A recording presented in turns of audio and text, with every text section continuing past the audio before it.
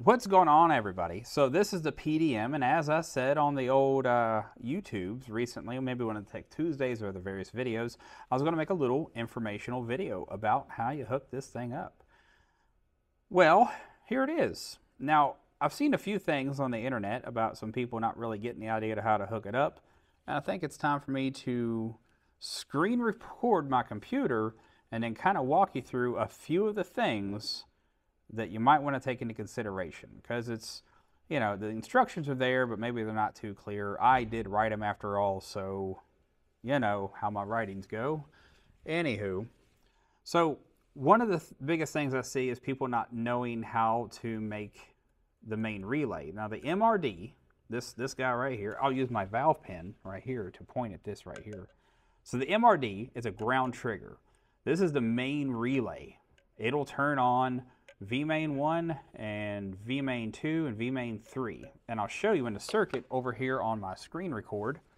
If we look right here, MRD, you can see right here, this is the ground side of these relays. Now they're not really relays, but we did that to simplify exactly. We didn't want to draw out a transistor and talk about all that stuff, so we just made it look like a relay in the schematic. But this MRD right here, if you connect it to the ground trigger wire for the main relay off of the harness, it's going to pull in this one, this one, and this one. You notice this one's on its own separate circuit, V main 1, which is indicated here, which is right there. So this is on a 20 amp fuse for F4 all by itself. This is going to be your main power that's going to, you know, bring the voltage to the system as it goes. So anyways, MRD triggers these two right here. And you can see right here, MRD triggers all three of these wires. So it's going to put out 12 volts here, here, and here if this is triggered to ground from the ECU. Now let me get over here to the wiring schematic. Now this is the kill shot. A lot of other systems very similar to this. This is the main relay right here. And this is the MRD wire. This is the wire that triggers this relay and takes the power that goes through the fuse and splits off. You see how they're tied together. It makes it a ground triggered relay. Um, so you'll get a ground signal from this, from the ECU, which will activate the relay and send power down to this V main, this big power wire. So if you're going to hook this PDM up, um, don't worry about it. But you know, if you cut this wire, number two, and then wire it to the MRD right here, it's going to send power out these things. You'll take this number four right here, this wire, and connect it to vmain 1 so that whenever it gets that signal, it's putting power out for the rest of the system. Not a big deal. I will make a new supplementary document that goes into the instructions that has all these things highlighted with a little notes tab over here next to it, just so you get a better idea of this triggers this relay and on the uh, PDM, this triggers this relay, these two things with the fuses.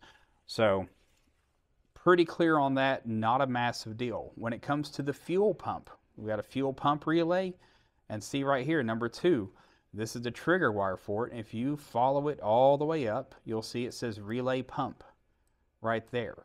It's a black 20 gauge wire relay pump.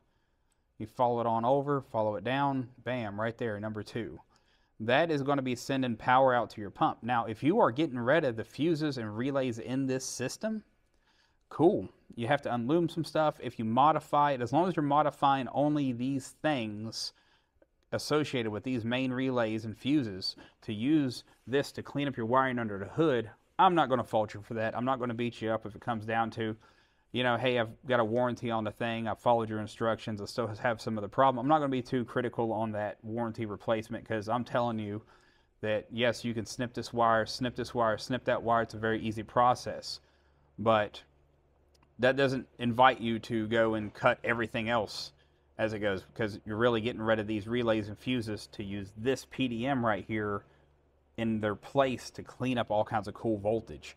So we'll get back. So this one right here snip that number two, it's going to go on our pump.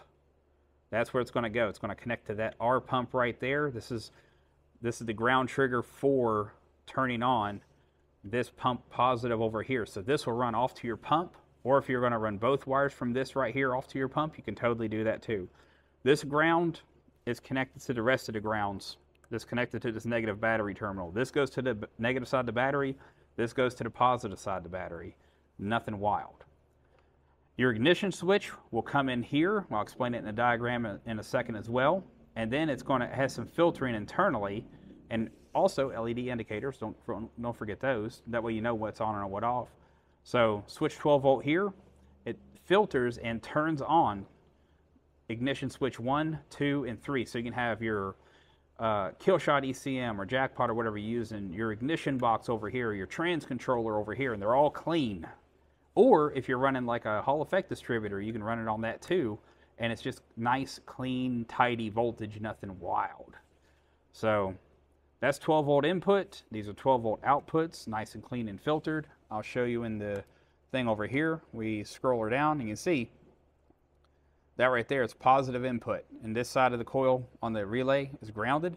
So it's going to come in with your dirty uh, switch 12 volt off of whatever source you got going on and it will pull that relay in and send clean voltage that gets filtered through here out to each one of these ignition switch sources. That's epic. I really like that a lot. So there's not a whole lot more, you know, the R pump right here, we talked about that. That gets triggered, it pulls it in and does that. And this R pump back to this right here is this number two wire on your fuel pump relay. Um, I'm a big fan of this. I actually modified my harness to get rid of the relays and fuses. It looks very, very pretty. I'm going to have Reed, our lovely camera guy, um, snap a picture of my modified harness uh, to show you just how nimble the harness is. I'll take all the insulation off so you can see that it's like a lot less wiring, a lot less volt going on um, with that harness. But hopefully this is clarifying some stuff up for you guys. You can see there's just a lot of ex extra stuff that can just straight up go away. That fuse, this, that, and the other, this thing comes in, that fuse is gone. Not a, not a crazy deal because this right here, you're going to be getting that power as if you trace it in. It goes through that fuse. It goes into this relay and it gets distributed back up, back up this direction. So instead of doing all that mess, you just snip that V main one, connect this MRD, connect this fuel pump over here to R pump, and then start hooking the rest of your stuff up. Um, so in that supplementary document that I'm going to be making, uh, I'm going to redo that one drawing that was a combination of we need to get something out and really kind of define each each one of the paths about negative pump, positive pump, maybe a little bit about it. This is, I mean, it's, it's a ground, it's a ground, that's a ground. This is a ground, this is a ground. This from point to point, this goes straight through. There's no filtering, no triggering of it. It's just, you know, to keep your, your harness nice and tidy when you lay them out. So that that's pretty much the, the what's to, because I've seen some comments of some people with a little bit of confusion. Hopefully this video uh, helps to, to clarify that a little bit more. My, my screen moved all by itself. That's amazing. So if you're hooking it up, your switch 12 volt goes in here. It outputs three sources for clean voltage. Awesome. Your trigger wire for your main relay goes to MRD. It'll turn on all your V mains. V main 1 is the most important. You see right here, it's all by its lonesome. This is going to be that big fat wire on the harness that comes off of that relay.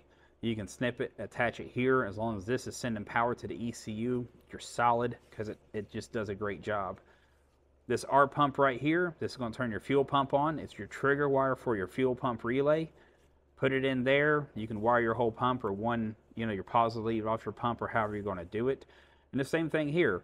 Relay 1 and 2, if we look back at the wiring schematic, it's a ground trigger for relay 1 and 2. And that's just going to be some kind of an auxiliary relay that you're going to do anything else with. So if you want it to come on with something else, you can wire it in, in such a manner that it's either going to ground trigger uh, and turn something on. You can use it for an extra fan if you want to. If you have like a fan one, which we have in here, or if you want to hook up your fan two and just use the relay RLY one or two or what have you not, you can just put your fan like fan two on relay one and fan one on R fan. So it's you know all the appropriate connections are labeled over here of you know, what, what that's going to be. This is a ground and this is a positive output. This is a ground and this is the positive output for, you know, V relay 2, V relay 1, and then we have fan negative and fan positive. All these right here, now keep in mind that this is only on a 30 amp, but you can do it on a 30 amp and it's not the biggest deal depending on what systems you're putting in there. So if you got electric water pump you want to tie into here and it's not pulling a huge amperage, you got a, you know, a fan that's not going to pull uh, 30 amps accumulated with the rest of them, it's, it's totally fine. But you can do extra things with these if you really like. So hopefully this uh, this makes a bunch of sense. Hopefully I'm explaining it good. If not, drop a comment. Let me know that I explained it terribly or what have you not. But I just want to get the most information on explaining how to do this. So, so anyways, we're going to be using one of these PDMs in our big block Camaro. Um, we're going to be wiring it in. It, it, it is extra stuff to do, but we are going to be modifying the harness appropriately, and I'll show you in that video the appropriate modifications and I'll show these diagrams as well in that video when we install it. We want to make it nice and clean and look really, really cool under the hood because it's a really cool car and we're doing a lot of testing. And this is going to allow us the expandability to do other stuff without having to hunt down more wires in the system or add in more relays or do anything. We can keep it real clean and tidy and nice under the hood. Because yeah, it is a test vehicle, but honestly, we're going to drive the car shows and we kind of, you know, this would look pretty sweet mounted somewhere in a fender. So I do hope this video helps. Uh, like I said, if you got any other questions, we can come back and hit you up with some comments. Uh, and uh, yeah, I think that pretty much covers everything. Pump, V mains, uh, relays, fans, you know, the fuses. That, that's the my favorite part is the type of transistors we use in this do a lot of voltage, uh, do a lot of amperage because they're IGBT transistors. But the only thing I've managed to damage on these things, short circuiting it, overvolting it, and a bunch of other stuff, is I've pop fuses. That's it. But if you hook them up right, they're fantastic units to do. You do have to modify the, your current harness. Future harnesses will have the allowance to be able to just plug those things in, tighten up the screws, and then wire the rest of your car real nice and smooth. It's just that you know we're trying to you know think about the future and also help out our previous customers with these units to help clean up voltage and help clean up under the hood even though there is a little bit of extra stuff to do concerning these. I like these things, but hope that helps.